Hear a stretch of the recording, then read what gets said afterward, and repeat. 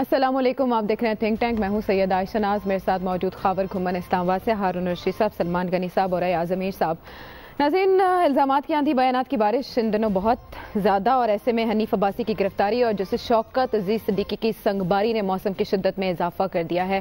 ایک افسوسناک واقعہ، اکرام اللہ گنڈاپور کی شہادت بھی اس پر بھی ہم بات کریں گے۔ لیکن یہ سچویشن جو کہ اب جس پر بہت زیادہ قیاس آرائیاں اور جو ابہام ہیں، وہ مزید تشویشناک ہو گئے ہیں۔ سوال آپ کے سامنے رکھنے جا رہے ہیں۔ جیسے شوکت، عزیز صدیقی کے بیانات کے حوالے سے کہ ایک سینئر جج، ایک حاضر سروس جج کا پبلک بیانات پبلکلی ایسے بیانات دینا کیا ایک درست عمل ہے؟ آپ اپنی رائے کا اظہار کیجیے، آپ کیا سوچ رہے ہیں؟ لیکن ایسا ثاقب نثار چیف جیسے ثاقب نثار نے نوٹس لے لیا اور انہوں نے کہا حقائق قوم کے سامنے لائیں گے، ہم پہ کوئی دباؤ نہیں ہے، ایک بار پھر یقین دلاتے ہیں، یہ ہو کیا رہا ہے؟ پہلی بات تو یہ ہے کہ کوئی جج صاحب جو کسی بینچ پہ بیٹھے ہوں، وہ پبلک جلسے نہیں کرتے اور بار ایسوسیشنز کو ایسے موضوعات پہ خطاب نہیں کرتے، چاہے وہ انگلستان ہو، چاہے امریکہ ہو، روس اور چین کو تو آپ چھوڑ دیجیے نا، وہاں تو یہ تصور بھی ناممکن ہے۔ ایسے آپ جا کے خطاب نہیں فرماتے، جیسے جسٹس شوکت صدیقی صاحب نے راول پنڈی بار کے سامنے کیا ہے۔ پھر آپ ایسی غیر موتات انداز میں گفتگو نہیں کرتے۔ یہ ناقابل تصور ہے کہ کوئی انگلستان کا جج کسی پبلک فنکشن پہ جائے اور وہاں پہ ایم آئی فائیو اور ایم آئی سکس کا نام لے۔ یا کوئی سپریم کورٹ کا جج ہو امریکہ میں، وہاں تو کوئی پبلک میں جانے کا سپریم کورٹ کے جج کا سوال ہی پیدا نہیں ہوتا۔ سپریم کورٹ کو جا، دور کی بات ہے۔ سرکٹ کورٹ آف اپیل جو ہوتے ہیں، جو نیچے اس سے ستا ہے، وہاں کا جج ایسے جائے ریزرویشنز ہوتے ہیں آپ اپنے ججمنٹ میں کرتے ہیں، عدالتی وہ کاروائی ہوتے ہیں ایسے آپ جو طریقہ جسٹس شوکت صدیقی صاحب نے اپنایا ہے ججز ایسے نہیں اپناتے۔ یہ بذات خود امپروپرائٹی ہے۔ چاہے جو بات بھی ہو، چاہے آپ کی ریزرویشنز جو بھی ہو ایک چیز، الزام ان کا، اگر آپ ان کا ریمارکس دیکھیں، تو قومی ادارے کے بجائے زیادہ الزام تو ان کا اپنی جوڈیشری پہ ہے۔ میں اگر اثر انداز آپ پہ ہو رہا ہوں تو آپ میرا اثر قبول کر رہے ہیں۔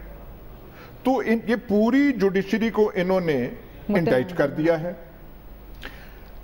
چیف جسٹس ثاقب نثار جو کر رہے ہیں ان کو کسی وہ جو ہم قومی ادارہ قومی ادارہ کہتے ہیں آئی ایس آئی یا جی ایچ کیو نے اپوائنٹ کیا ہے۔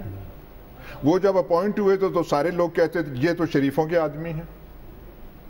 تب جب جسٹس ثاقب نثار ایلیویٹ ہو رہے تھے تو عام بات یہ تھی کئی ہمارے سیاسی سرکلز میں کہ دیکھیں جی شریفوں کا اقتدار اب ہوگا جو ہے وہ مضبوط۔ کہ ان کا اپنا جج لگ رہا ہے سپریم کورٹ میں۔ آپ کی مرضی کی باتیں ہوتی رہیں تو ٹھیک ہے، خلاف ہوں تو وہ ہو جائے۔ ایک میں اور اگزامپل آپ کو دے دوں۔ جسٹس عباد الرحمان لودی نے یہ فیصلہ کیا کہ ایفیڈرین کیس میں اکیس جولائی کو فیصلہ آنا چاہیے۔ جی۔ اور وہاں پہ فیصلہ آ گیا۔ یہی جسٹس عباد الرحمان لودی ہیں۔ چکوال سے پی ٹی آئی کا امیدوار ہے غلام عباس۔ اس کو ڈسکوالیفائی کر رہے ہیں۔ پی ٹی آئی کے کینڈیڈیٹ کو کر رہے ہیں۔ ان کے سامنے آتے ہیں۔ شاید خاکان کو بھی کرتے ہیں۔ ان کو بھی کرتے ہیں جو ان کے سامنے شوائد ایکولی ٹریٹ کر رہے ہیں نا وہ تو۔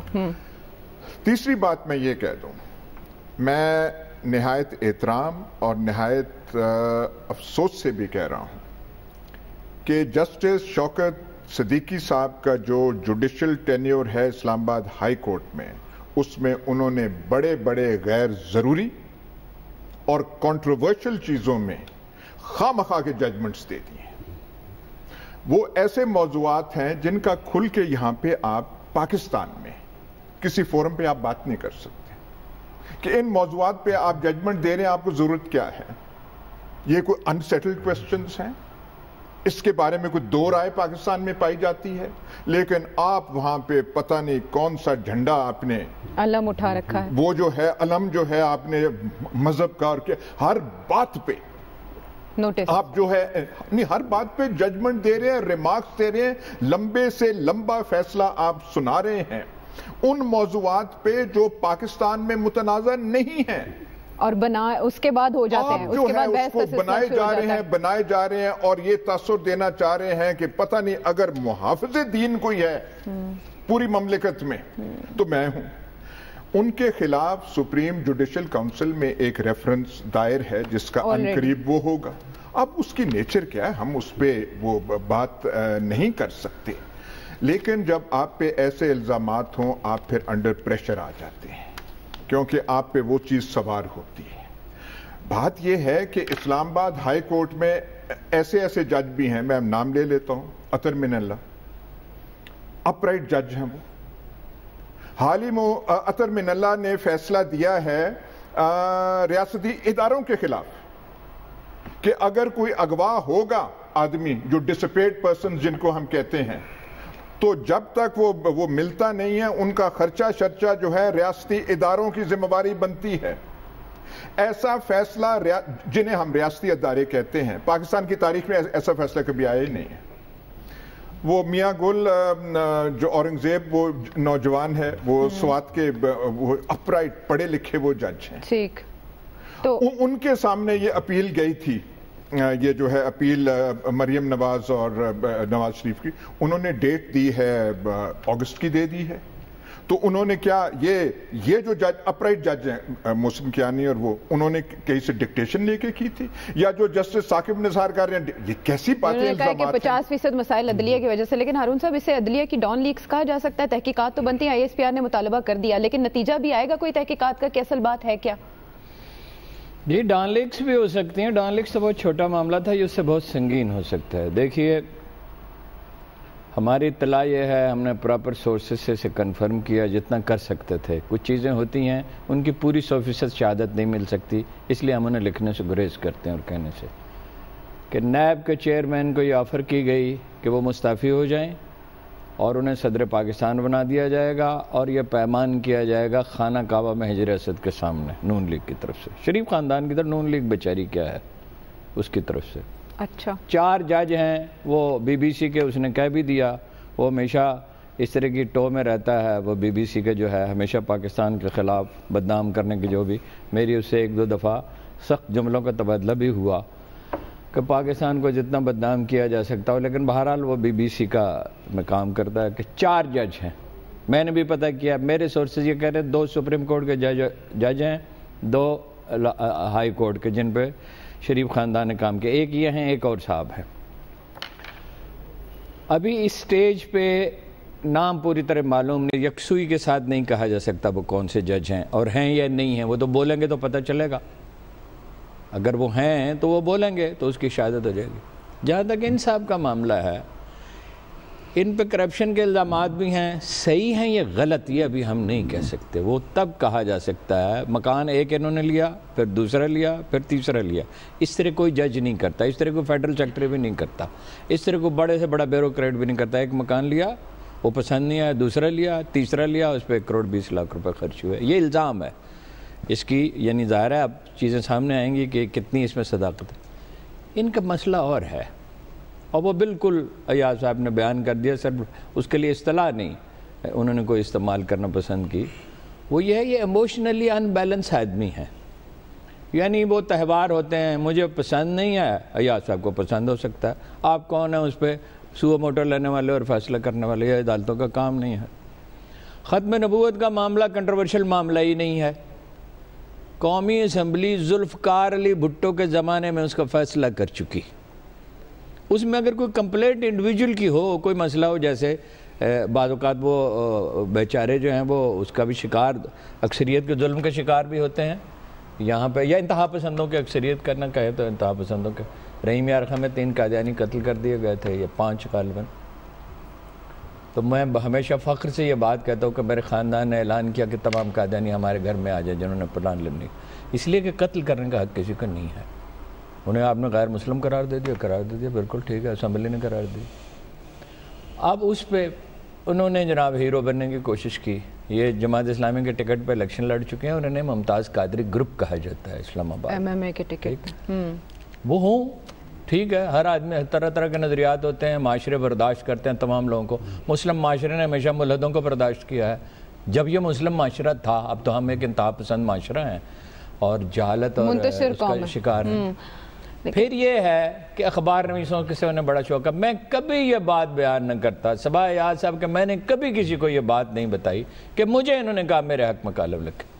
میں کبھی ساری زندگی میری گزر جاتی میں ریٹائر ہو جاتا مگر یہ بات کبھی نہ بتاتا۔ مجھے یہاں ملے پی سی میں کہا مجھے آپ نے پہچانا میں ایک دفعہ ان سے ملا تھا جہاز میں ساتھ والی سیٹ پہ بیٹھے تھے۔ مگر میں نے نہیں پہچان سکا معذرت کی کہ میں نہیں پہچان سکا۔ مجھے کہنے لگے آپ کے قلم کی بڑی ضرورت ہے۔ میں تو ہکا پکا انہیں دیکھتا رہ گیا۔ میں نے کہا جج صاحب آپ کیا کہہ رہے ہیں؟ اور میں اس کو بھول گیا میں نے اس کو بھول جانے کی کوشش کی۔ مجھے نہیں پتا تھا کہ کبھی مجھے بتانا پڑے گا۔ ایک مجھے انہوں نے میسیج بھی کیا آج مجھے فرصت نہیں ملی ورنہ میں ڈھونڈتا۔ اس میں بھی یہی لکھا تھا آپ کے قلم کی ضرورت ہے۔ ٹھیک۔ یہ باور کیا جاتا ہے کہ عرفان صدیقی صاحب کے ساتھ ان, سے رابطہ ہوا۔ نوکری ان کے خطرے میں ہے۔ خطرے میں نہیں کہہ سکتا کہ ان کے خلاف الزامات ثابت ہوتے ہیں یا نہیں ہوتے بہت سی چیزیں تو الزامات ہی ہیں نا۔ لیکن یہ ہے کہ عرفان صدیقی صاحب کے بارے میں ایک گواہی میں پوری ذمہ داری سے دیتا ہوں۔ کل میں پرسن لکھ بھی دوں گا کہ پہلی سازش انہوں نے اللہ کے فضل سے جرنلزم میں آنے کے بعد ایک صاحب سے مل کے میرے خلاف کی تھی اور میری سال بھر کی محنت ضائع کرنے کی کوشش کی تھی۔ میں اس پہ خاموش رہا آج تک خاموش رہا مگر اب میں لکھ سازش کرنے میں یعنی انہوں نے میری پورے سال کی ایک محنت ضائع کرنے کی کوشش کی۔ لکھی ہوئی کتاب پہ میں کتاب لکھ رہا تھا۔ انہوں نے دو تین مہینے پہلے لکھ کے چھاپ دی اسی اچھا۔ موضوع پہ۔ اچھا۔ ارسن ٹھیک۔ اب یہ ہے الزام۔ یہ ثابت ہوتا ہے یا نہیں ہوتا؟ میں اس کی گواہی دیتا ہوں کہ ایک نمبر کا سازشی ہے عرفان صدیقی اور مجھ پہ اگر وہ کیس کرنا چاہے تو کرے تو میں ثابت کر دوں گا کہ کتنی سازشیں اس نے کی۔ ایک جج کا فائنلی یہ ہے اس میں میں میں معافی چاہتا ہوں بات لمبی ہو گئی۔ ایک جج کو اگر شکایت مجھے اس دفتر میں شکایت ہو میں کیا کروں گا؟ اس کا ایک طریقہ کار ہے اس پہ عمل کروں گا۔ اور اگر میں سمجھوں کہ میں حق پہ ہوں اور میری بات نہیں سنی جا رہی تو میرے پاس ایک راستہ ہے کہ میں اس دفتر کے باہر کھڑا ہو جاؤں چلا جاؤں۔ ٹھیک ہے اپنی شکایت درج کر دوں اور کہوں کہ بھئی میں ان حالات میں نہیں کام کرتا یا دفتر کو مجھ سے شکایت ہو دفتر مجھ سے کہے کوئی کہ اور صاحب، پلیٹ فارم ہم آپ کو گوارہ۔ نہیں کر سکتے آپ اصول توڑ رہے ہیں۔ ٹھیک۔ ٹھیک ہے؟ اس کا ایک طریقہ کار ہے اگر عدلیہ کو ان سے شکایت ہے پچاس فیصد میں کہہ سکتا ہوں پچاس فیصد جرنلسٹ ذمہ دار ہیں یہ تو بچگانا بات ہے ہم سب ذمہ دار ہیں اس معاشرے میں جو خرابی دیں۔ عدلیہ بھی ذمہ دار ہے اخبار نویز بھی سیاست دان بھی سول سروس بھی جنرل ہے۔ حضرات بھی اچھا۔ کاروباری بھی سب ذمہ دار ہیں بہت غیر ذمہ دار آدمی ہیں یہ اور یہ اس منصب پہ رہنے کے اہل نہیں ہیں انہیں الگ اس دن ہو جانا چاہیے تھا جس دن ان کے خلاف ریفرنس دائر یہاں۔ پہ بھی جج بول رہے ہیں ان کے فیصلے نہیں بول رہے۔ سلمان صاحب آپ اکثر کہتے ہیں۔ عائشہ میں یہ بات بھی ہمیشہ کہتا رہا ہوں کہ جی ججز کو نہیں بولنا چاہیے ان کے فیصلے بولنے چاہیے۔ اور بات یہ کہ ایک نفسیاتی کیفیت پاکستان کے اندر طاری ہے۔ دیکھیں اس میں کوئی شک نہیں کہ اداروں کے درمیان ایک نفسیاتی کیفیت طاری ہے۔ اور اس میں جسٹس شوکت صدیقی صاحب کا راول پنڈی بار سے خطاب کا باہر آنا ریزرویشن ظاہر کرنا اور خود عدلیہ کے حوالے سے۔ یہاں تک نوبت کیوں پہنچی؟ دیکھیں، اب آ کے جب انہوں نے آ کے یہ خطاب کیا اور اس نے انہوں نے پاکستان کے ایک سینسٹیو ادارے کہ اگر وہ فیصلے غلط کر رہے تھے، جیسے یہاں پر کہا گیا، تو یہ کورٹ کو کورٹ کی ذمہ داری تھی۔ اور میں سمجھتا ہوں کہ آج اس ساری صورتحال میں میں ہمیشہ یہ کہتا رہا ہوں کہ اپنے اپنے طرز عمل کا جائزہ لینا چاہیے۔ اس میں کوئی شک نہیں کہ ایک انٹرنیشنل ایجنڈا تھا۔ کل بھی یہ بات ہو رہی تھی کہ انٹرنیشنل ایجنڈا ہے اور اس کا مقصد پاکستان کے اندر انارکی طاری کرنا ہے، پاکستان کے اندر عدم استحکام پیدا کرنا ہے، پاکستان میں انتشار اور خلفشار۔ لیکن یہ بات میں ایک بات، دیکھیں اچھا کیا کہ D G I S P R نے انہوں نے چیف جسٹس صاحب کو کہا، چیف جسٹس صاحب نے کہا کہ میں اس کا نوٹس لوں گا۔ لیکن جو سوالات اور تحفظات انہوں نے اٹھائے ہیں، تحقیقات کریں بالکل، ان کے خلاف کے کہاں سے آئے، کیسے بنے، کیسے فیصلے دیے لیکن یہ جو تحفظات اور الزامات دیکھیں اس وقت پاکستان کے اندر آپ کسی جگہ پہ چلے جائیں یہی بات ڈسکس ہو رہی ہے۔ یہی بات یہی بات ڈسکس ہو رہی ہے۔ کیوں ہو رہی ہے؟ اور ٹائمنگ اس کی ڈسکس ہو اس رہی کی ہے۔ ٹائمنگ میں نے اس لیے کہا نا کہ یہ تو جلتی پہ تیل والی بات ہے۔ بالکل۔ کہ یہ ساری صورتحال پاکستان کے اندر جو ایک نفسیاتی کیفیت آ رہی تھی اس میں جلتی پہ تیل والا کام اور اس کی تحقیقات ضرور ہونی چاہیے اور جو تحفظات اور۔ سوالات اٹھائے ہیں اس کا جواب بھی دیا جانا چاہیے۔ لیکن خبر وہ الزامات جو لگائے جا رہے ہیں اور کہا جا رہا ہے کہ سٹ پٹا کے انہوں نے ایسے بیانات دیے اداروں کے خلاف کیونکہ ان کا ٹرائل ہونے جا رہا ہے یہ سپریم جوڈیشل کونسل میں ان کے خلاف کاروائی ہو رہی ہے۔ وہ کہہ رہے ہیں کہ بھئی اوپن ٹرائل کریں میرا۔ الزامات کی نوعیت کیا ہے کہ اس کے بعد واقعی وہ ایسا کر سکتے ہیں؟ دیکھیں وہ تو چیف جسٹس صاحب نے ثاقب نثار صاحب نے ایگری کر لیا ہوا ہے کہ تیس جولائی کو ہیرنگ ہوگی اور اوپن ہیرنگ ہوگی وہاں پہ سارے کا سارا ان سے پوچھا جائے گا ان کے اوپر جو الزامات ہیں۔ جو ہارون صاحب نے بات کی کہ ایک کروڑ سے زیادہ کے جو انہوں نے تزین و آرائش کروائی اپنے گھر کی سی ڈی اے کو بلایا سی ڈی اے کے جو حکام کو کہا ہے کہ جی میرے گھر میں یہ کام کریں اور یہ ان کے اختیارات میں نہیں تھا۔ ایگزیکٹلی اصل میں ایشو بنا کیسے ہے؟ عائشہ ہمیں اس کی طرف دیکھنے کی ضرورت ہے۔ ہوا یہ ہوا یہ کہ کل جب انہوں نے وہاں پہ یہ تقریر فرمائی، اس کے بعد الیکٹرانک میڈیا نے، پیمرا نے بڑے، بڑی ذمہ داری کا جو اس پہ مظاہرہ کیا اور ان کے جو کنٹروورشل ریمارکس تھے، ان کو بالکل انہوں نے اگنور کیا، ان کی طرف بالکل کوئی انہیں توجہ نہیں دی۔ لیکن وہ ایک میڈیا جو سیل پچھلے پانچ سال سے کام کر رہا ہے، جو اس میڈیا سیل کے حوالے سے بہت سارے ہمارے دوست احباب میڈیا کے اندر موجود ہیں، انہوں نے فوراں سے ان کے وہ جو کنٹروورشل ریمارکس کو اٹھایا ایک طوفان بدتمیزی سوشل میڈیا کے اوپر اس میں بڑے بڑے صحافی حضرات ہمارے بڑے بڑے کونا مش مطلب جنہوں نے زندگیاں گزاری ہوئی ہیں انہوں نے ان کے کنٹروورشل ریمارکس لیے اور اس کے اوپر پھر کہہ دیا کہ جی ہمارے ملک کے اندر یہ ہو رہا ہے یہ کیا ہو رہا ہے یہ تو بالکل یہ تو مارشل لا لگ گیا ہے ایسا تو کبھی کہیں ہو ہی نہیں رہا۔ اچھا اس کے بعد ہوا کیا کہ ڈیفینیٹلی اسے پریشر بنا۔ اچھا ان کو لے کے، ان کے بیانات کو لے کے یہ جو ہمارے سوشل میڈیا میں ہیں، اور میں بہت سارے اپنے صحافی حضرات کو جانتا ہوں جو کہ کنٹریبیوٹرز ہیں ویسٹرن میڈیا کے، جو بڑے بڑے جو نیوز پیپرز ہیں نیو یارک ٹائم کے وال اسٹریٹ جرنلس ہے واشنگٹن پوسٹ ہم یہاں پہ روزانہ اسلام آباد میں مختلف جگہوں پہ بیٹھ کے گپے شپے لگاتے ہیں اور صبح وہاں پہ، یہاں رات کو سٹوری لکھتے ہیں صبح سٹوری چھپتی ہے۔ انہی کے جو، وہ جو ٹویٹر ٹویٹس سے ان کو اٹھا کے پھر ویسٹرن میڈیا نے اٹھا لیا انڈین میڈیا نے اٹھا لیا کہ دیکھیں پاکستان کے ایک سرونگ جج نے اپنی آئی ایس آئی کے بارے میں کیا کہا، اپنے جو ریاستی اداروں کے بارے میں کیا کہا۔ اور یقینی طور پر ایک نیشنل اور انٹرنیشنل لیول کے اوپر ایک بہت بڑا جو ہے ایک ایک ایشو بن گیا۔ بہت اچھا رسپانس ہے ڈی جی آئی پی آر کی طرف سے، چیف جسٹس صاحب کی طرف سے کہ یہ جو انہوں نے بیانات دیے ہیں، اب دیکھیں ان کو اب یہ جو انہوں نے کام شروع کیا، اب اس کو پانی تو دینا پڑے گا یہ ان کو بتانا پڑے گا یہ ثابت کرنا پڑے گا اگر یہ اپنے جو پہلے ان کے اوپر چارجز ہیں، وہ ان سے بچ بھی جاتے ہیں، تو یہ جو الزام لگایا ہے کہ جی یہ ہمارے، میرے چیف جسٹس کو اسلام آباد ہائی کورٹ کے چیف جسٹس کو میسج گیا کہ جی باپ بیٹی کو نہیں نکلنے دینا، فلانے سے کہا گیا کہ جی فلانا بیچ بنا دے، فلانے کو یہ میسج گیا۔ مجھے پتہ ہے سارا کچھ، تو یہ سب کچھ ثابت ان کو کرنا پڑے گا۔ لاسٹ کومنٹ دیکھیں جوڈیشری کا رول پچھلے دو چار سال میں کیا رہا ہے؟ ہمارے ملک میں بلدیاتی انتخابات ہوئے جوڈیشری نے نوٹس لے لے کے، لے لے کے کروائے۔ جمہوریت پسند نہیں کرنا چاہ رہے تھے۔ اس کے بعد مردم شماری جو کہ انتخابات کے لیے بہت ضروری تھی، وہ سپریم کورٹ نے پیچھے پڑ کے کروائی اور اس کے بعد انتخابی اصلاحات۔ الیکشن کمیشن آف پاکستان بار بارہا دفعہ گیا عدالت عظمہ کے پاس خدا رہا یہ الیکٹورل ریفارمز آپ نے کرنی ہے جلدی کریں ہم نے انتخابات کروانے ہیں۔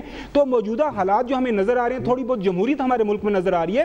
اس کے پیچھے عدلیہ کا بڑا کردار ہے۔ تو خدا کے واسطے یہ جو ہمارا سو کال جو لبرل جو ہمارا بریگیڈ ہے اس کو تھوڑا سا خیال کرنا چاہیے کہ یک دم یہ ایک چیز کو پکڑ کے پچھلے دنوں انہی جج صاحب نے سوشل میڈیا کو کہا کہ میں بین کر دوں گا۔ یہی جو بریگیڈ ہے ان کے خلاف ہو گیا تھا۔ تو آج جو ان کی مرضی کے مطابق انہوں نے بیان دیا ہے تو اس کو لے کے ان کے پورا ایک شروع ہوگا بھان بھان کی بولیاں اب اس پر بولی جا رہی ہیں شاید یہ بیانات بھی اسی لیے تھے کہ اس پر مزید بات ہو سکے۔ ہاں لیکن بریک کا وقت ہے بریک کے بعد آتے ہیں بات کے سلسلے کو آگے بڑھانے۔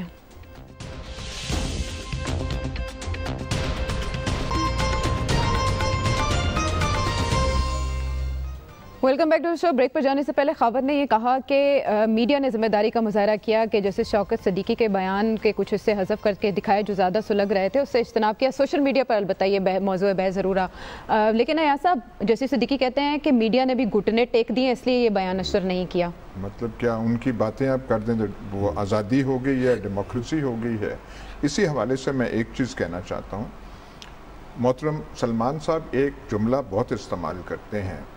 اور ہمیں پتہ ہے کہ ایک انٹرنیشنل ایجنڈا ہے جو پاکستان کے خلاف ہے۔ وہ کہتے نہیں ہیں پر وہ ان کا مفہوم یہ ہوتا ہے کہ جو کچھ یہ سارا ہو رہا ہے میاں نواز شریف کے خلاف اور سارا پیناما سے لے کے اب تک یہ اس انٹرنیشنل ایجنڈا کا حصے کہتے نہیں ہیں مفہوم وہ ہے۔ میں دست بدستہ ایک مطلب مدبانہ گزارش کرنا چاہتا ہوں۔ اچھا اور ایک اور چیز الفاظ ہم عمران خان بھی کرتے ہیں ہم بھی کئی دفعہ انٹرنیشنل اسٹیبلشمنٹ۔ انٹرنیشنل اسٹیبلشمنٹ کیا چیز ہے؟ یہ کوئی جو اصطلاح ہے یہ مروجہ کہیں دنیا میں اور کہیں استعمال نہیں ہوتی۔ International establishment. عمران خان کرتے ہیں ہم بھی کئی دفعہ کرتے ہیں۔ امریکہ ہے جو ہے جو سب سے طاقتور ملک ہے ان کا ہے۔ اگر پاکستان کے بارے میں کوئی امریکن تشویش ہے ایجنڈا میں نہیں کہوں گا وہ دو موضوعات پہ مبنی ہے۔ جی۔ ایک پاکستان کا نیوکلیر پروگرام۔ وہ امریکنز کو کھٹکتا ہے۔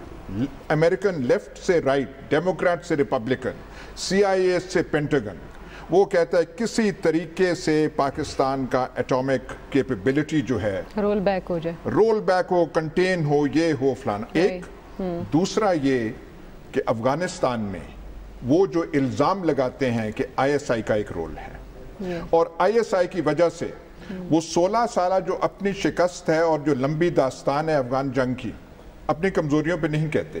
الزام ہوتا ہے پاکستان پہ۔ اور آپ کو سٹیو کول کی جو لیٹسٹ کتاب ہے directorate S directorate S I S I کا ایک حصہ وہ بتاتے ہیں۔ مطلب تم وہ کہانی بہت اچھی کتاب ہے۔ لیکن وہ جو آپ صرف سامنے سے دیکھیں تو لگتا ہے کہ یہ سارا کیا کرا آئی ایس آئی کا۔ آئی ایس آئی کا۔ طریقے سے۔ جسٹس شوکت صدیقی کس پہ اٹیک کر رہے ہیں؟ اس پہ۔ جو انٹرنیشنل ایجنڈا کی باتیں ہوتی ہیں سب کچھ ہو رہا ہے یہ ہو رہا ہے فلانا ہو رہا ہے۔ سر انٹرنیشنل ایجنڈا ہے تو کھٹکتا آئی ایس آئی ہے نیوکلیر پروگرام باقی ہمارے چھوٹے موٹے مسئلوں دنیا کی نیندیں ہاں، حرام ہاں۔ نہیں ہوتی۔ دیکھیں میں تو اللہ تعالیٰ کو حاضر ناظر جان کے یہ بات کرنے لگا ہوں۔ آپ صرف ایک روز پہلے کا پروگرام اٹھا کے دیکھ لیں کہ کون سی ایسی کمی ہم نے چھوڑی جو شوکت صدیقی نے پوری کی؟ کہ یہاں پر جو باتیں کی گئی اور میں نے جب بھی انٹرنیشنل ایجنڈے کی بات کی ہے، اس بنیاد پہ کی ہے کہ پاکستانی فوج اور پاکستان کی آئی ایس آئی دشمن کو کھٹکتی ہے۔ اور میں نے کل اسی پروگرام میں یہ بات کہی تھی کہ آئی ایس آئی دشمن کو کھٹکتی ہے۔ اور دوسری بات سے میں ان کے اتفاق کرتا ہوں کہ پاکستان کا نیوکلیر پروگرام اور پاکستان کا سی پیک سی پیک جب سے یہ کرائسس کی صورتحال ہوئی ہے، میرا مسئلہ یہ ہے، بطور پاکستانی جرنلسٹ، کہ وہ سی پیک کے صنعتی زون کہاں چلے گئے؟ اور اب یہ جو کیفیت پاکستان کے اندر تاری ہوئی ہے، یہ کس کا ایجنڈا ہے؟ بات یہ میں دوبارہ یہ بات کہوں گا کہ یہی انٹرنیشنل ایجنڈا ہے کہ پاکستان کے اندر ایک انارکی کی صورتحال تاری کی جائے، پاکستان کے اندر عدم استحکام تاری کیا جائے، تاکہ وہ جو نیوکلیر پروگرام دشمن کو اور خود امریکہ کو اور انڈیا کو کھٹکتا ہے اسے کسی طرح وائنڈ اپ کیا جائے جو پاکستانی قوم نہیں کرنے دے گی اور اس پہ اتفاق رہے ہیں۔ اس پر وقت کم ہے۔ خبر آپ مکمل کیجیے گا پھر بات کرنے ہیں حنیف عباسی صاحب کی گرفتاری کی۔ اچھا دیکھیں جو انٹرنیشنل اسٹیبلشمنٹ کی ہم بات کر رہے ہیں اس کو تھوڑا سا ایکسپلین کرنے کی ضرورت ہے۔ انٹرنیشنل اسٹیبلشمنٹ نے کیا کرنا ہے؟ انہوں نے آ کے ہمارے نیوکس اٹھا کے تو نہیں لے جانے خدا نخواستہ یا ہمارے اوپر فزیکلی اٹیک تو نہیں کرنا۔ دیکھیں جو اکنامک ہٹ مین ہمارے ماشاء اللہ اسحاق ڈار صاحب آج کل لندن کی سڑکوں پہ گھوم پھر رہے ہیں وہ ہماری اکانومی کا اتنا برا حشر کر گئے ہیں کہ آپ اب ظاہر بات ہے آپ نے آئی ایم ایف کے پاس جانا پڑے گا یا کسی نہ کسی کے پاس آپ کو ہاتھ پھیلانے پڑیں گے۔ کیونکہ آپ کا جو اکنامک میلٹ ڈاؤن ہے وہ دیٹ از آلریڈی دیئر جو آنے والی حکومت ہے اس کے لیے سب سے بڑا چیلنج یہ ہوگا۔ تو بیسیکلی یہ جو سارے کا سارا بیانیہ بلڈ کر رہا ہے نا۔ اب دیکھیں زرداری صاحب تھے انہوں نے کیا کیا؟ اس کے بعد نواز شریف صاحب تھے انہوں نے اکانومی کا کیا حشر کیا؟ تو انٹرنیشنل اسٹیبلشمنٹ جو انٹرنیشنل اینٹیٹیز ہیں جو میڈیا سارا کچھ وہ کوشش کر رہے ہیں کہ وہی کام آگے بڑھے۔ پاکستان ان حالات میں چلا جائے کہ پھر ایونچولی ہمیں گھٹنے ٹیکنے پڑے اور پھر ظاہر بات ہے پیسے مانگے گے تو پھر انہوں نے اپنے کام تو ضرور ٹھیک ہے آئی ایم ایف کے ساتھ ڈیلنگ تو آئندہ حکومت کے لیے سب سے بڑا چیلنج ہے۔ ایک جملے کی اجازت جی۔ پاکستان میں ہم بہت ساری چیزوں کو رومانٹیسائز کر دیتے ہیں۔ ہم نے سی پیک کو رومانٹیسائز کیا ہوا ہے۔ ہمیں سخت کڑی نظر سے دیکھنا چاہیے۔ جہاں پیسے کا مسئلہ ہو، وہاں یہودی کی آنکھ اور ہندو بنیے کی نظر ہونی چاہیے۔ رومانٹک جو ہے انٹرپلے اس کے اس میں نہیں فریب نظر میں نہیں آنا چاہیے۔ آل انڈیا کمپنی ہے سب کو یاد رہنی چاہیے۔ اچھا خیر وہ جو وہ جو ہم نے عوام کے سامنے رکھا پول کہ حاضر سروس جج کا پبلک بیانات دینا درست ہے اس بارے میں رائے یہ آئی ہے انہتر فیصد یہ سمجھتے ہیں کہ نہیں ایسا نہیں کیا جانا چاہیے۔ خصوصاً جب ملک میں ایسے حالات ہوں کہ پہلے ہی متنازع بیانات کی بھرمارو اکتیس فیصد انہتر فیصد کا یہ کہنا ہے۔ جی۔ کہ نہیں، ایسا نہیں ہونا چاہیے جو انہوں نے کیا اکتیس فیصد یہ کہتے ہیں کہ جی ہاں کہیں نہ کہیں تو بات ہو رہی ہے تو ہونی چاہیے۔ بریک کے بعد ناظرین بریک کا وقت ہے بریک کے بعد آتے ہیں واپس۔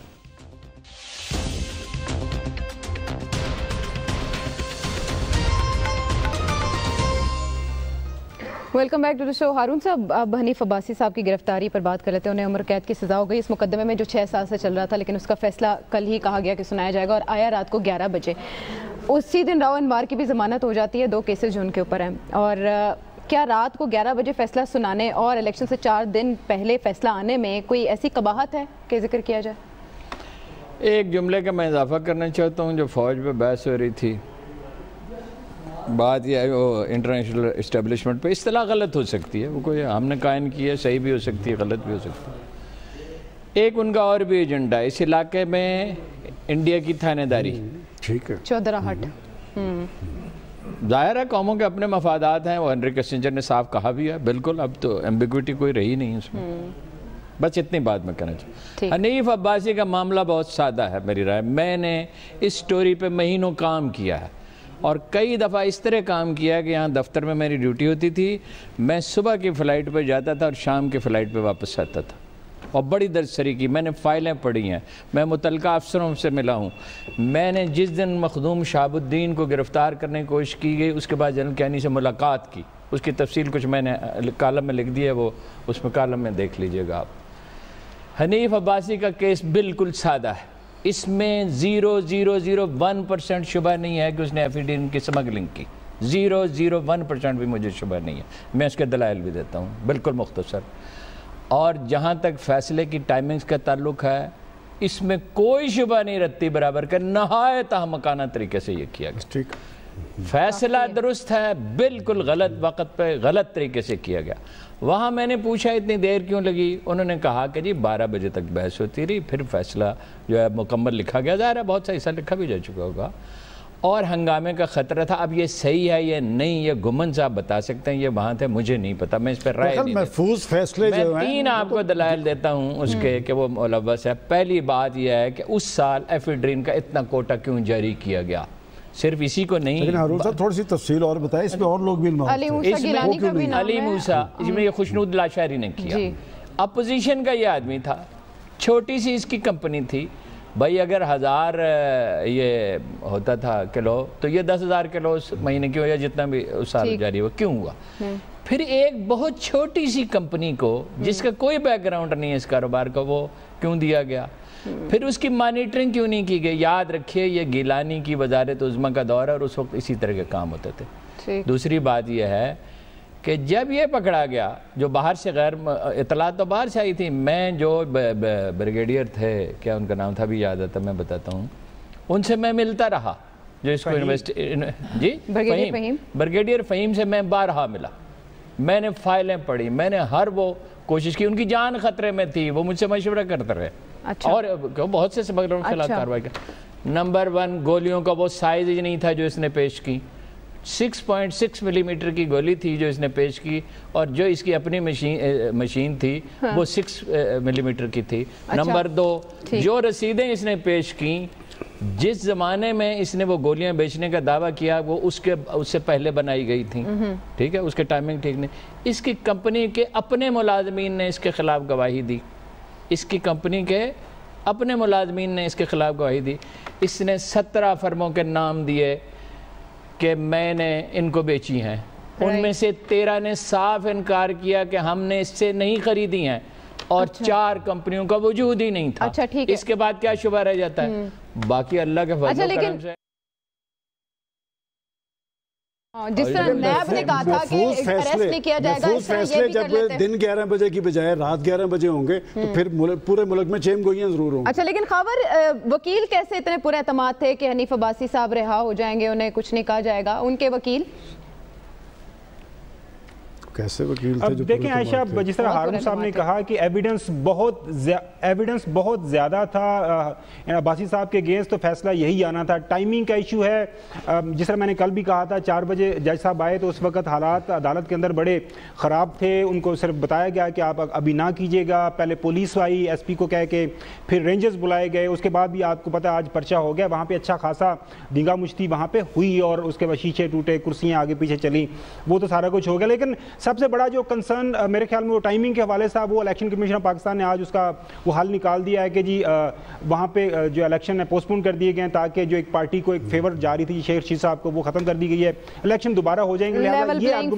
میرے خیال میں۔ ختم ہو گیا ٹائمنگ اچھا اچھا۔ ایک بات میں ساتھ ایک اور بات کر دوں چونکہ اب آئندہ الیکشن جو الیکشن کے بعد ہمارے پروگرام ہوں گے دیکھیں ایک چیز جو پاکستان پیپلز پارٹی اور پاکستان مسلم لیگ نون جو آج کل وہ تیاری کر رہے ہیں نا وہ جو پلوٹ پلاٹ لکھ رہے ہیں وہ دونوں اطراف سے یہ تیاری ہو رہی ہے اس کے بعد تقریر کیا کرنی ہے؟ کہ ہم تو پہلے ہی کہتے تھے یہ ہونا ہے یہ میں آج آپ کو آؤٹ کم بتا رہا ہوں۔ باقی فائنلی ایک چھوٹا سا شارٹ کومنٹ ایاز صاحب نے جو بات کی بڑی خوبصورت بات ہے کہ سی پیک سارے کا سارا ری نیگوشیٹ ہونے کی ضرورت ہے کیونکہ وہ بہت ہی انفیوریبل کنڈیشنز وہ ہماری طرف ہیں وہ جو بھی آئے گی اس کے لیے ایک بہت بڑا چیلنج ہوگا۔ میں نے کل جی۔ ایک ریمارک دیا تھا جس پہ ہارون صاحب نے پھر لمبا چوڑا تبصرہ کر دیا کہ گرامر بغیرہ تو ٹھیک کر لیا کریں۔ اب میری بات وہ صرف آنریبل محمد بشیر صاحب کے فیصلے کی طرف نہیں تھی۔ میں میٹافورکلی بات کر رہا تھا کہ اسلوب تو کسی چیز کا ٹھیک ہونا چاہیے اور میں نے یہ بھی کہا تھا کہ کچھ کرنا ہو چلنا ہو کسی ادا کے ساتھ۔ اب یہ جو فیصلہ ہے حنیف عباسی کا جب یہ کیس کھلا تھا تو ہم وہیں تھے وہ اس حکومت میں میرے خیال ہم وہ ایم این اے وغیرہ بھی تھے تب اس اسمبلی میں ہم بیٹھتے تھے۔ کسی کو یہ شک نہیں تھا کہ اس کیس میں یہ چیزیں ہوئی ہیں ایفیڈرین کا کوٹا لیکن آپ ساڑھے سات سال آپ کو ٹرائل وہ کر رہے ہیں۔ یہ یہ کہاں سے تک ہے؟ حنیف عباسی ڈھائی سال تو وہ خود پیٹیشنز دیتا رہا کہ جی جلدی فیصلہ کریں۔ ایک میں آخری چیز کہوں گا۔ یوسف رضا گلانی کی حکومت اور وہ خود جتنے ایم این ایس پہ مہربان تھے اتنے پاکستانی تاریخ میں ایم این ایس کو ایکسس نہیں ملا۔ ایم این ایس ہم جو نون لیگ کے تھے ہم یوسف رضا گیلانی کے اینٹی روم میں ایسے بیٹھے ہوتے تھے۔ کہ یہ ہمارے نون لیگ کا وزیر اعظم minister of health Shahabuddin تھے مخدوم شہاب الدین فیور لینے یہ گئے تھے وہ محول ایسا تھا فیور مل جاتے تھے۔ حکومت مہربان دوست یہاں تھوڑے ہیں۔ بھائی بہت ناظر پروگرام کا ختم فیڈ بیک کرے گا انتظار اگلے پروگرام تک کے لیے خدا حافظ۔